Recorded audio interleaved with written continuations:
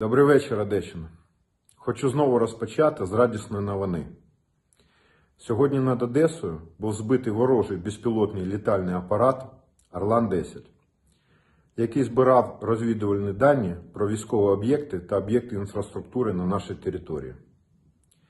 Дякую підрозділам протиповітряної оборони за їх професіоналізм та злагоджені дії. Усі повинні розуміти, що після потоплення Москви буде існувати підвищена загроза нанесення ракетних ударів. Тому вранці ворог випустив ракету по Одеському району.